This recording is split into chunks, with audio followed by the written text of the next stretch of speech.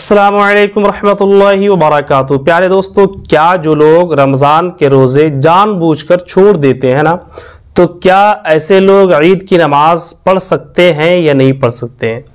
क्योंकि आवाम में ये बहुत ज़्यादा मशहूर है कि जो लोग रोज़ा नहीं रखते हैं जानबूझ करके रोज़ा छोड़ देते हैं, ऐसे लोग ईद की नमाज़ नहीं पढ़ सकते हैं ऐसे लोगों के ऊपर ईद की नमाज़ वाजिब नहीं है और ऐसे लोगों को ईद की नमाज़ पढ़ना मना है। तो सही मसला क्या है? सही बात क्या है? आज इसी टॉपिक पर हम आपसे बात करने वाले हैं ना?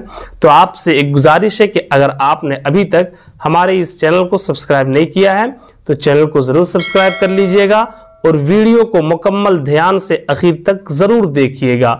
तो प्यारे दोस्तों, सबसे पहले आप ये जान लें कि ईद की नमाज़ वाजिब होने के लिए किन किन चीज़ों का होना ज़रूरी है, ठीक है?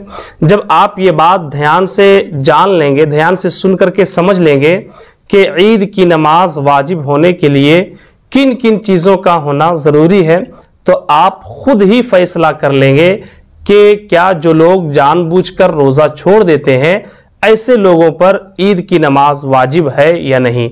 या ऐसे लोगों को ईद की नमाज़ पढ़ना मना है, हराम है, क्या है, नहीं है, आप इन चीज़ों को सबसे पहले जानना होगा कि किन किन लोगों पर ईद की नमाज़ वाजिब है और ईद की नमाज़ वाजिब होने के लिए क्या क्या चीज़ें होना ज़रूरी है है ना?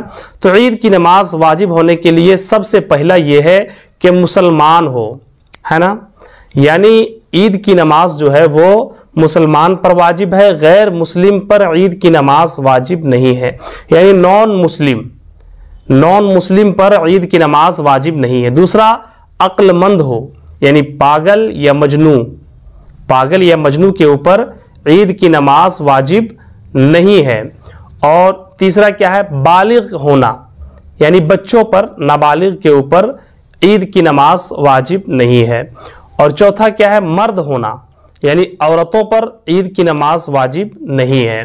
पांचवा, मुकीम होना, यानी मुसाफिरों पर ईद की नमाज़ वाजिब नहीं है है ना? और छठा, जो लोग शहर में रहते हों, उन पर ईद की नमाज़ वाजिब है, देहात में रहने वालों के ऊपर ईद की नमाज़ वाजिब नहीं है। ये छह शराइत हुई नमाज़ ईद वाजिब होने की, है ना? तो जो इन छह शर्तों को पूरी करेगा, ऐसे शख्स के ऊपर ईद की नमाज़ वाजिब है। तो आप इन छह शर्तों में से ये कहीं नहीं दिखा सकते हैं कि ये लिखा हो कि जो लोग रोज़ा नहीं रखते हैं, उन पर ईद की नमाज़ वाजिब नहीं। और ईद की नमाज़ वाजिब होने के लिए पूरे रमज़ान का रोज़ा रखना ज़रूरी है। आप ये कहीं नहीं दिखा सकते हैं। तो इससे साफ़ ये बात क्लियर हो जाती है कि जो लोग ईद जो लोग रोज़े को छोड़ देते हैं ना, जानबूझकर जो लोग रोज़े को छोड़ते हैं, ऐसे लोगों के ऊपर भी ईद की नमाज़ वाजिब है। लेकिन जो रोज़ा छोड़ रहे हैं, उसका गुनाह मिलेगा, क्योंकि रोज़ा ये एक अलग इबादत है और नमाज़ ये एक अलग इबादत है है ना? तो रोज़ा छोड़ने का उन्हें गुनाह ज़रूर मिलेगा। जानबूझ करके अगर वो रोज़ा छोड़ रहे हैं तो इसका गुनाह मिलेगा और वो इसके गुनाह के मुस्तक है। और जो नमाज़ है तो नमाज़ ये एक अलग इबादत है। आपको नमाज़ पढ़नी है, यानी ईद की नमाज़ ऐसे शख्स पर भी वाजिब है। अब रोज़ा नहीं रख रहे हैं तो उसका गुनाह उसे मिलेगा। मोहतरम प्यारे दोस्तों, हमें उम्मीद है कि आप हमारी इन बातों को समझ गए होंगे। असलकम वरहमल वर्क